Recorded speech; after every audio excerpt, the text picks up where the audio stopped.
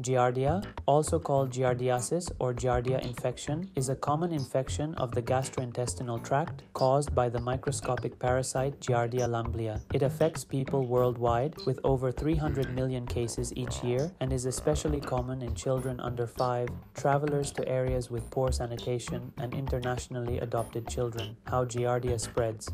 Giardia is found in the feces of infected people or animals and spreads through Contaminated water, most common, drinking untreated water from streams, lakes, wells, contaminated water used for food, or swallowing contaminated water while swimming.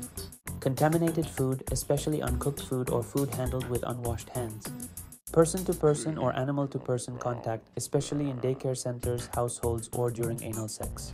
Contaminated surfaces or environments, touching objects with Giardia cysts and then touching the mouth. Symptoms some people have no symptoms, while others develop sudden, often watery diarrhea, fatigue or malaise, foul smelling, greasy stools, gas, bloating, cramps, nausea or vomiting, weight loss, or poor growth in children. Symptoms usually appear 1 to 2 weeks after exposure and last 2 to 4 weeks, sometimes longer. Giardia can also cause temporary lactose intolerance and other nutrient absorption problems. Diagnosis Diagnosis is usually made by stool testing for parasites. Multiple samples may be needed. In certain cases, an endoscopy may be recommended. Treatment. Treatment involves antibiotics, with the type and duration depending on the situation. People with no symptoms sometimes do not need treatment, except children in daycare, food handlers. These groups should be treated to prevent spreading infection.